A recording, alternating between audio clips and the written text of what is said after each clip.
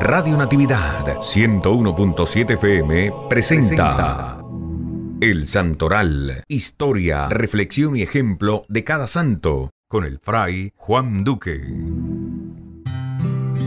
Hoy, 31 de mayo, la iglesia celebra la visitación de la Virgen María a su prima Santa Isabel. En ella entonó este precioso magnífica. Proclama mi alma la grandeza del Señor. Se alegra mi espíritu en Dios mi Salvador, porque ha mirado la humillación de su esclava. Desde ahora me felicitarán todas las generaciones, porque el poderoso ha hecho obras grandes por mí. Su nombre es santo, y su misericordia llega a sus fieles, de generación en generación. Él hace proezas con su brazo, dispersa a los soberbios de corazón, derriba del trono a los poderosos y enaltece a los humildes.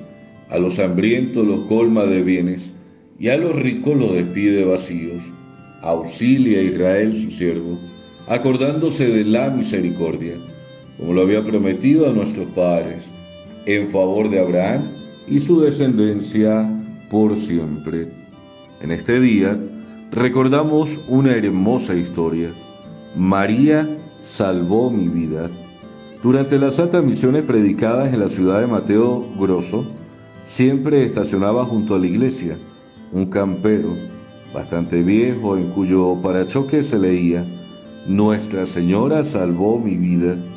El letrero era extraño, llevado por la curiosidad. Un día le pregunté al propietario el significado de aquella frase y me contó. Fue un milagro que recibí. Al escapar de morir asfixiado, había entrado en un pequeño depósito al lado de mi casa donde guardaba cosas del carro, latas de aceite, petróleo, piezas averiadas. De repente se prendió fuego en una de aquellas latas. En la prisa y el afán por apagar el fuego me quemé las manos y los brazos.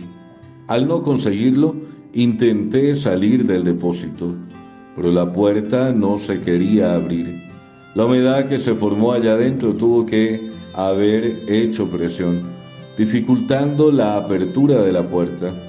Condenado a morir allí, ahogado por el humo, alcanzado por el fuego, clamé a Nuestra Señora. En ese mismo instante, como por encanto, se abrió sola la puerta y caía en el umbral sin sentido en ese momento los familiares cayeron en cuenta de lo sucedido y corrieron a socorrerme, mostrando en las manos y en el rostro las huellas indelebles de las quemaduras. Concluyó la emocionante narración.